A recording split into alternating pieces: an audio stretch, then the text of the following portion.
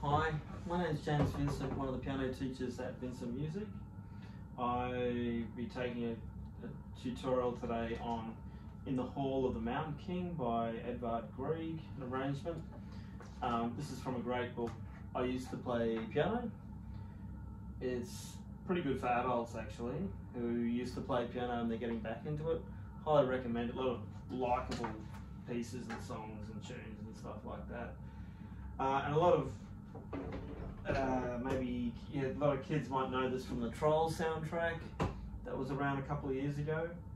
Um, let me play it through first and then we can take you through it. So what we got here?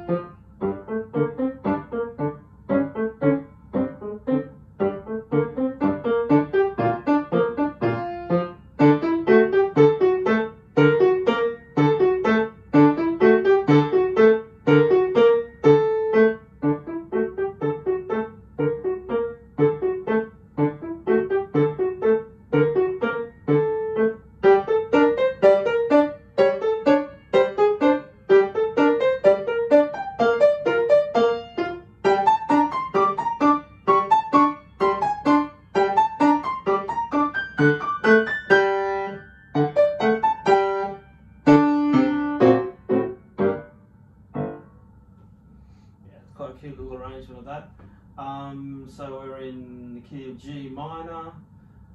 Uh, it's quite a, a range change over the piano. You'd be jumping from this low octave a sort of a G minor position. Of the time with your third fingers on the black notes there. And you know, moving up there, moving up there, and finally up to there at bar 28. And it just gradually builds, the dynamic goes from really quiet to really loud. Let's see if we look at the, the left hand first. So it starts, you've got that tune, the main theme, it starts on the left.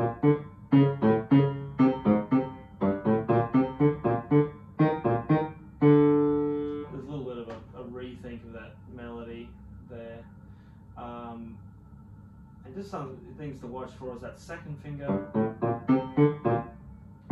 here would move from C to C sharp and then back to C. And your fourth finger also moves to A flat. So you get this kind of movement. Two, four there, two, four there. So that's the first thing to get your head around. There's a little change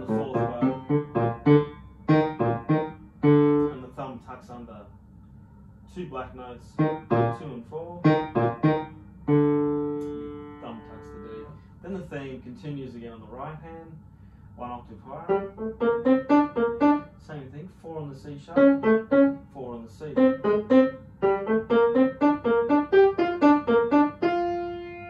got a new kind of twist to that theme there.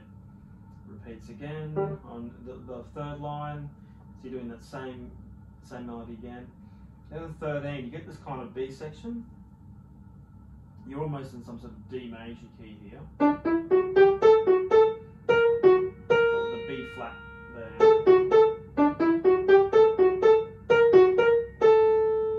Nice sort of happy sound with a dark, dark edge, edge of uh, dark tinged edge. Repeats again,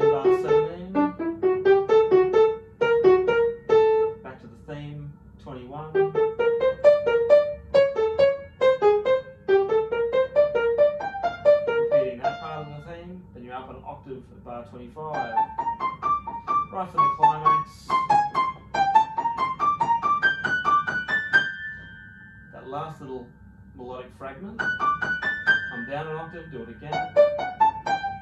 Finish it off. Getting quieter for a little bit of a twist. Um, that's pretty simple. I recommend you could do that whole. I recommend learning the theme part by part all the way through there because it all kind of ties together quite nicely.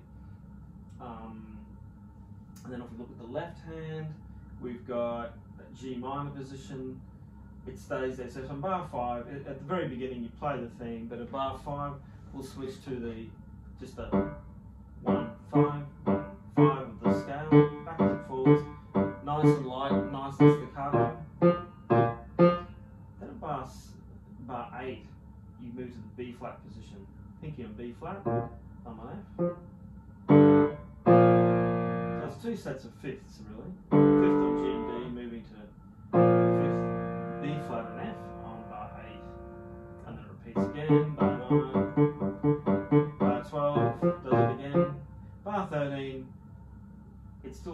the idea of a fifth, but you're on D now. D A fifth. Bar fourteen, just moves slightly up to the B flat. You've got a minor sixth. I like it. Me of that split ends. I got you. Line and um, bar 17, you're repeating again. Bar 21, you're back to that first thing.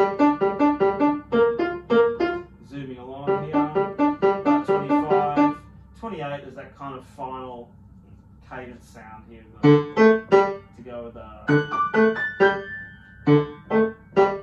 Again, reusing the idea of a fifth, which is good.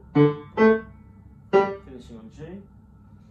Finally, last two bars, descending down the scale and down an octave with a low G.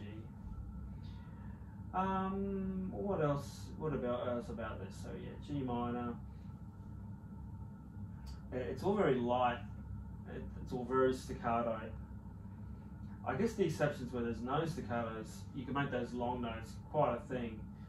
So, like for the example, the end of the theme at the bar four, you've got that minim on the D. You definitely make sure you make that long for the to give it variety there.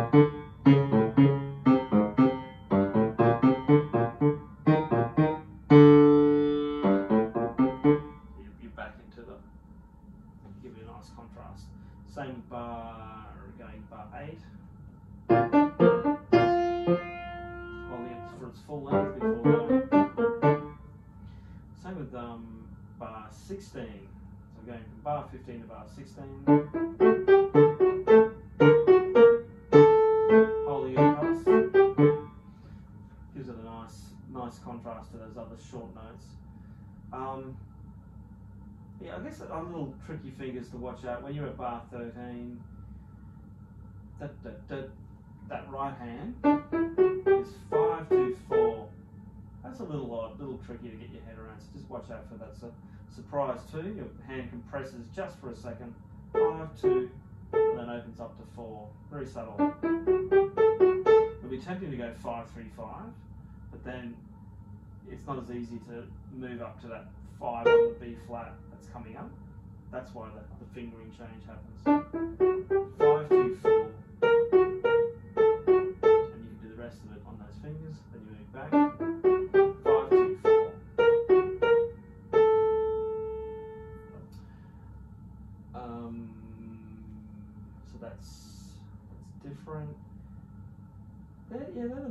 Things about it. Uh, you've got yeah, you've got all those sh- dynamic shades which are worth exploring. You know, how quiet is pianissimo? How quiet is quiet piano? How quiet is mezzo piano? Bar nine. Just a little bit more. How loud is mezzo forte? Bar thirteen when it warms up. Louder, but not too loud. Um, and finally, bar 21, you've got that dynamic crescendo. Mezzo forte moving to forte at 25. Sounds more like.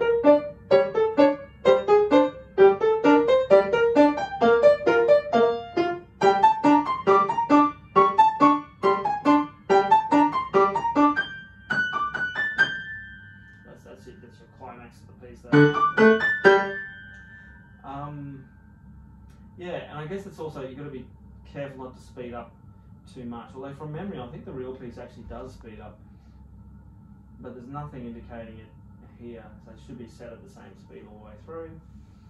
And yeah, right the last bar, watch your 8VA sign at the end.